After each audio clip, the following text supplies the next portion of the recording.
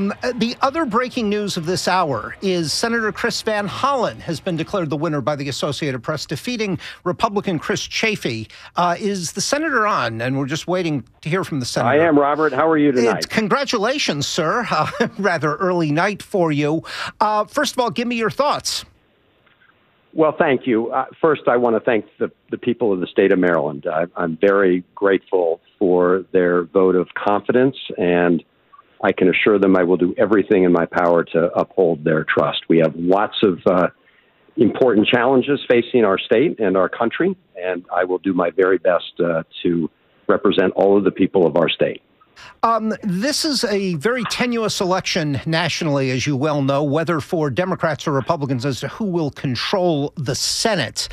Um, wh- first of all, where do you see tonight going in terms of control of the Senate? Do you expect to be, um, if not tomorrow or come January, Democrats to be in the minority?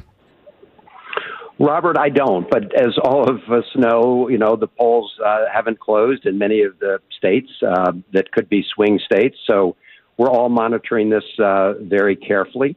Uh, but I've been focused, obviously, on my own campaign here in the state of Maryland, and I think you know Maryland, in my view, is going to be a a bright spot uh, for the night, and I'm very pleased to be, you know, elected uh, along with Wes Moore as our governor.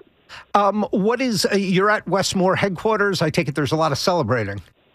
Well, we're here at uh, where we're having a celebration for all the statewide candidates. Hopefully, celebration sure. for all of them, including myself and Wes Moore. Yes. Okay, very good. And uh, in terms of getting the president's agenda through, uh, you have a House that could conceivably tonight be in Republican hands, a Senate still up in the air.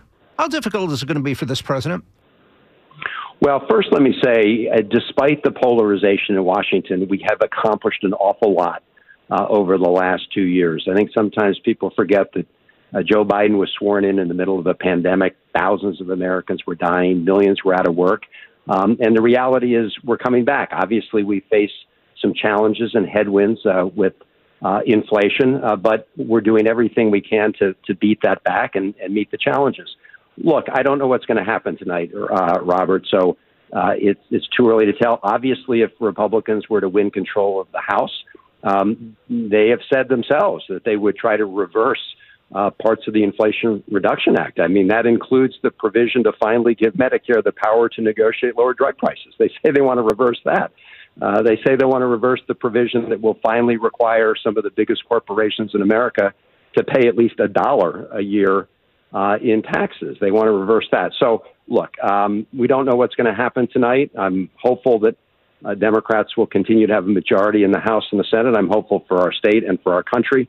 Uh, but look, it's in the hands of the American people now. All right, Senator Chris Van Hollen, winner of a second term tonight. Thanks for joining us tonight on WBAL, and congratulations, Senator. We'll Thanks so touch. much. Good to be.